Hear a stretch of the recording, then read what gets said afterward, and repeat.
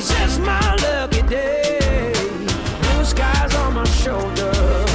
Walking on these. I feel that silver lining on my face. Yeah. Touch Nielsen.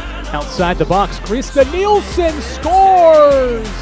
The freshman ties the match.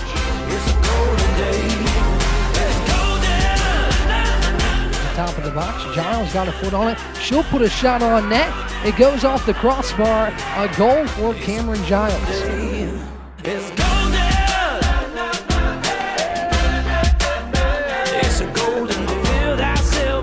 Side header scored off the corner kick from Felicia Frick. It was a header by Alba Delgado.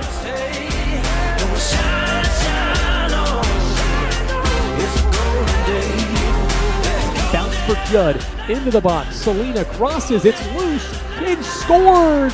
It's Carly Pettit.